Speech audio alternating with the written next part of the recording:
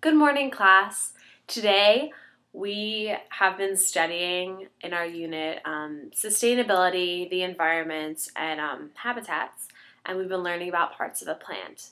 Um, so today we will, we will be labeling parts of a plant on a piece of paper, but instead of getting a plain old worksheet, we are going to draw our own leaves and plants. So Today we'll be using a technique called contour drawing. Contour drawing is a technique used by artists um, to kind of outline the shapes of the object that you're drawing and then later in you go in and fill fill in all the details. So for example, from for my demonstration today, I will be drawing a leaf and I'll be using I have two leaves right here that I got from outside and I'll be using these. So if you look you see the curved here. You can see a tip at the top and then a curve down. And then if you look really closely, you can see the vein go up the middle and then you have little small little veins come out on the side.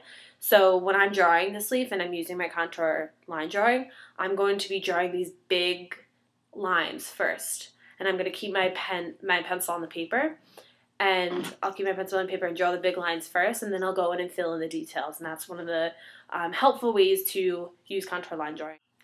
So now before I jump into my demonstration, we are going to look at some examples um, to kind of give you a better picture of um, what contour line drawing is and how it's used um, in art. So one famous artist um, who uses contour line drawing is called Henri Matisse. Um, Henri Matisse is uh, very famous for using contour line drawings to outline uh, the shapes of women and um, other things that he draws.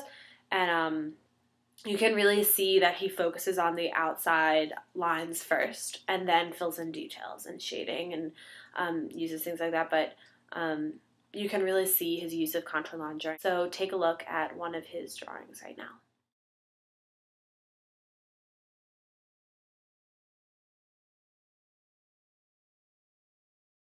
Here's another one of his drawings.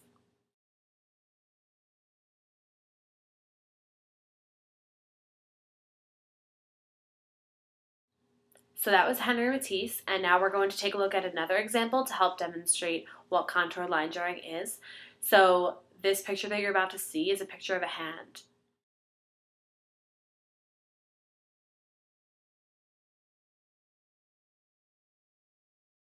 This hand only uses lines. Um, so the shape of the lines, as you um, could tell, the shape of the line outlines the shape of the hand.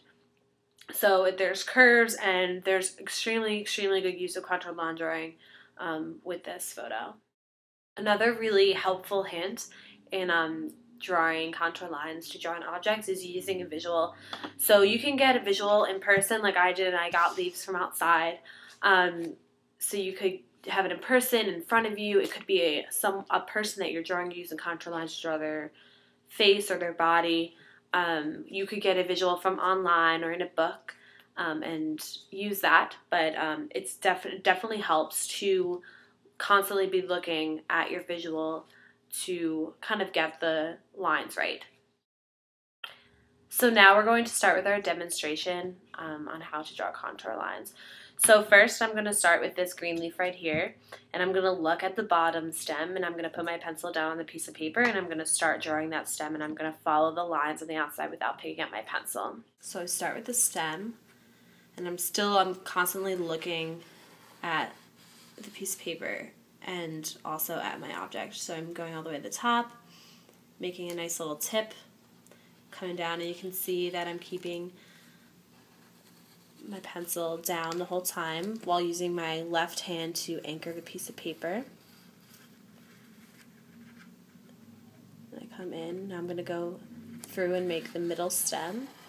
I'm kind of doing the large lines first. So now I'm working on the details of the leaf and I'm doing some veins, only using lines. I'm kind of following, I'm glancing at my paper I'm glancing at my leaf. I'm drawing straight fluid lines.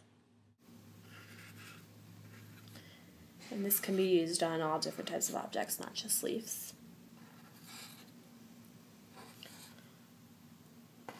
Fill in this nice detail work, just like that. Start on the other side. And then once we're done with all these details, we can go in and fill in the parts of the leaf and the parts of the plants to help us with our science and environmental studies.